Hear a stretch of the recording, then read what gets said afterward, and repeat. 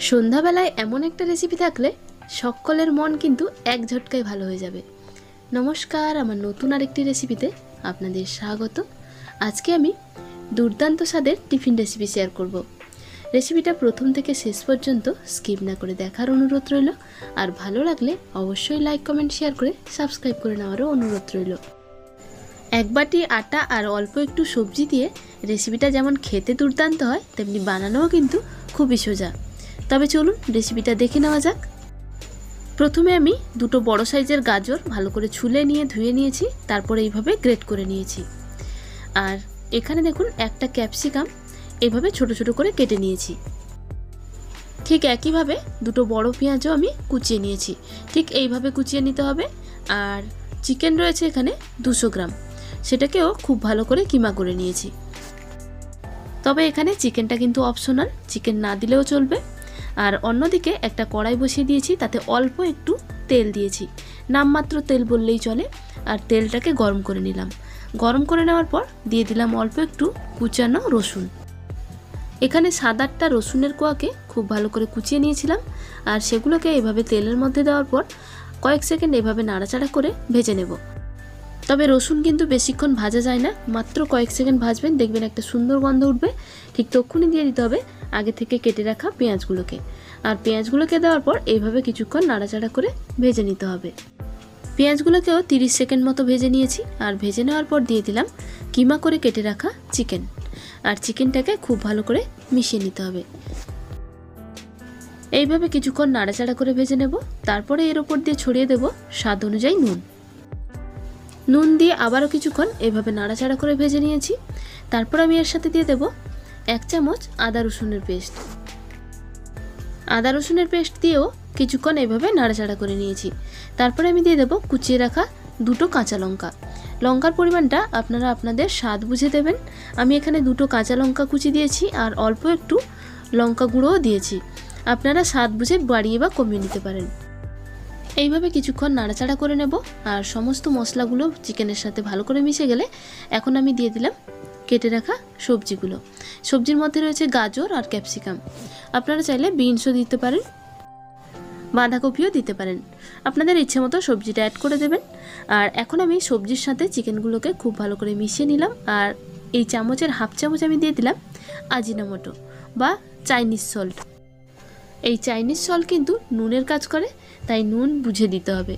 প্রথমে আমি যে পরিমাণ নুন দিয়েছিলাম, সেটা চিকেন আর পেঁয়াজ অনুযায়ী দিয়েছিলাম।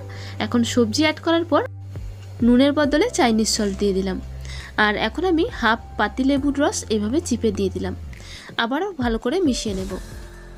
সবজি দেওয়ার পর গ্যাসের ফ্লেমটাকে হাই ফ্লেমে রেখেছিলাম।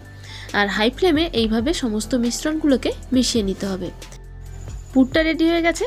এখন পুরটা ঠান্ডা হতে থাক, আর অন্যদিকে একটা বড় গামলা নিয়ে নিলাম, আর তাতে দিয়ে দিলাম এক বাটি পরিমাণ ময়দা, আর সাথে দিয়ে দিলাম এক বাটি আটা। আপনারা চাইলে শুধু ময়দাও দিতে পারেন, অথবা শুধু আটা দিয়েও করতে পারেন। এর মধ্যে আমি দিয়ে দিলাম স্বাদ মতো নুন, আর অল্প একটু তেল। তেল আর নুন দিয়ে আটা আর ময়দাটাকে এইভাবে শুকনো অবস্থায় খুব ভালো করে হাত দিয়ে মেখে নিতে হবে।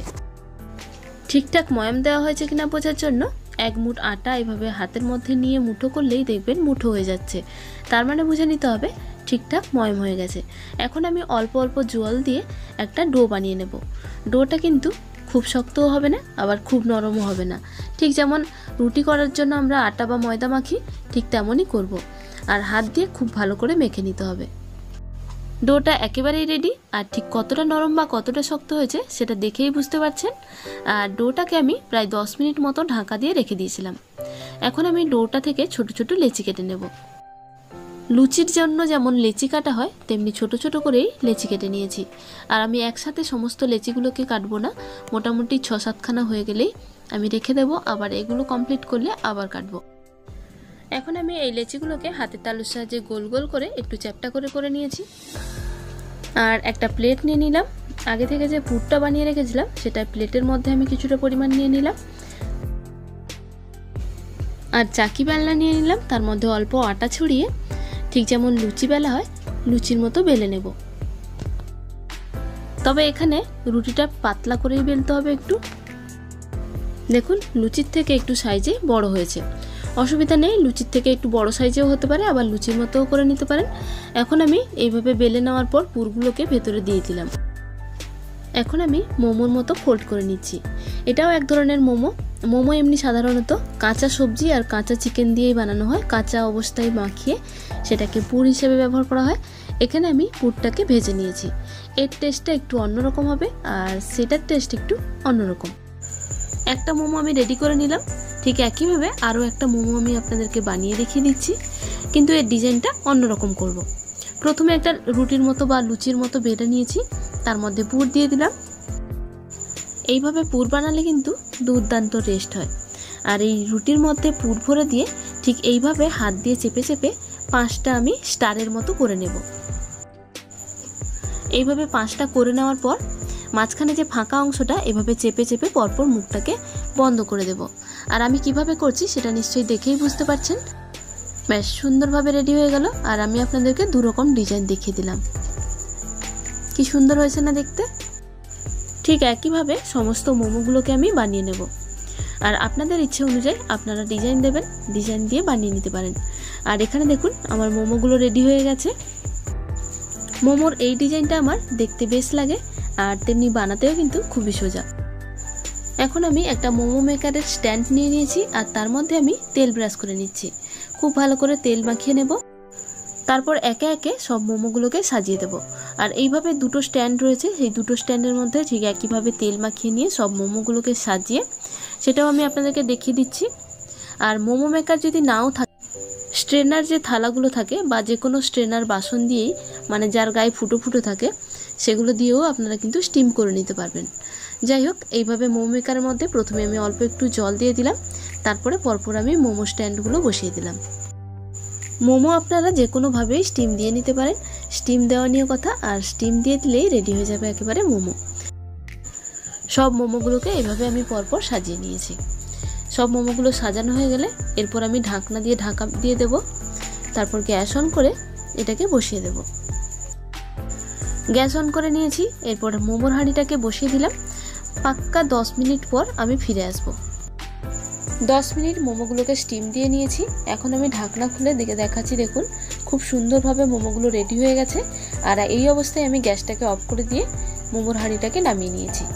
আর প্রচণ্ড গরম এখন। একটুখানি হালকা ঠান্ডা করে নিয়ে মোমোগুলোকে বের করে নিচ্ছি। এইভাবে মোমো বানালে শুধু শুধুই খেয়ে নেওয়া যাবে, এর সাথে কিচ্ছু লাগবে না। এত টেস্টি হয়। একবার হলেও বাড়িতে বানিয়ে দেখুন। বাড়ির বড় থেকে ছোট সকলেই খুবই পছন্দ করবে। আর এইভাবে রেসিপিটা দেখেই বুঝতে পারছেন কতটা স্বাস্থ্যকর। এখন আমি মোমো স্ট্যান্ড থেকে মোমোগুলোকে একটা থালার মধ্যে বের করে নিচ্ছি। এইভাবে মোমো বানানো কিন্তু খুবই সোজা। যে কেউ বাড়িতে থাকা উপকরণ দিয়ে খুব সহজেই বানিয়ে নিতে পারবেন। মোমোগুলোকে টমেটো কেচাপ দিয়ে সার্ভ করে দিয়েছি।